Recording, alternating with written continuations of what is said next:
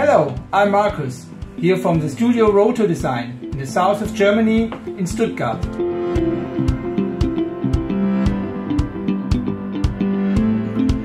I designed my first toy as a little boy together with my big brother. It was a spaceship made out of a cardboard box and we flew it all over the universe.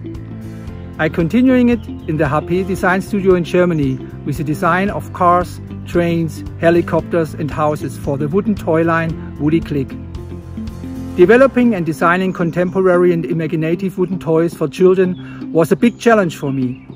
But since then, I have been working, learning and designing for and with children.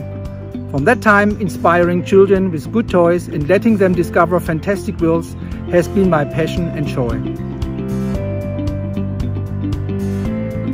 When Peter Handstein asked me to design bamboo toys, I answered, then I have to go to the bamboo forest.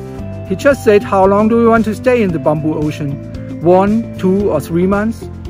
And then I started the bamboo project in Anji and was able to experience and to explore the giant grass from all sides, cultivation, production, processing into raw material, food material and drinkable material.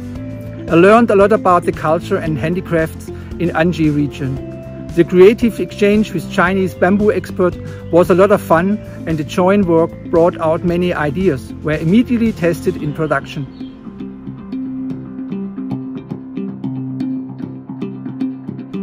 The Flexi Sticks and Pallina products also emerged from this first bamboo workshop. And Pallina in particular became a success, thanks to the intensive collaboration between the bamboo expert, the experts of waving and the international marketing team.